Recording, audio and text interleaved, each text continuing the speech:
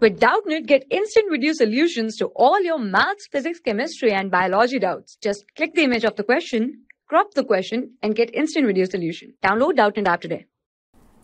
Our question is standard electrode potentials of redox couples. A 2 positive to A, B2 positive to B, C2 C2 positive and D2 positive to D are 0.3 volt, minus 0.5 volt, minus 0.75 volt and 0.9 volt respectively.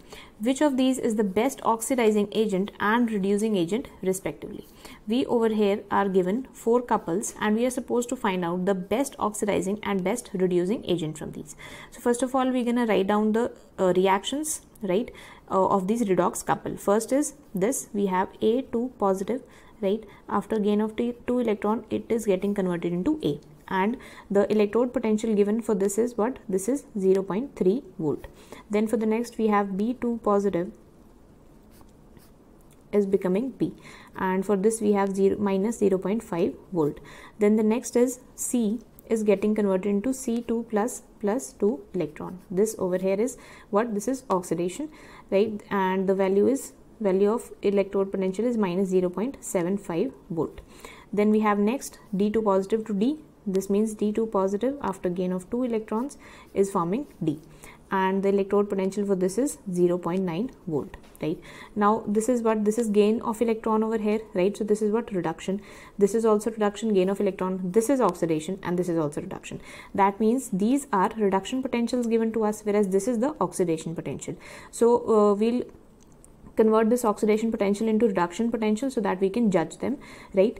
Now this would be equal to 0.75 volt right? So again this is our reduction potential and these all are already our reduction potential. So now uh, we're gonna write out write down first of all the order of the increasing reduction potential right?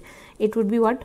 B is having the least reduction potential of all right? Which is minus 0.5 volt. Then we have a right? This is 0.3 volt. And then we have c which is 0.75 and the maximum is d right? So this is what this is our order of reduction potential for these redox couples.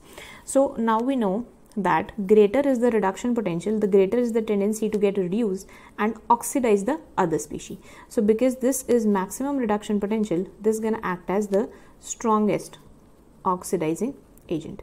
Because what is the uh, oxidizing agent? That oxidizes the other and itself get reduced. So because it has maximum reduction potential it would have a greater tendency to get reduced and oxidize the other. So going to act as strongest oxidizing agent. Whereas on the other hand this B is having the least reduction potential or we can say the maximum oxidation potential.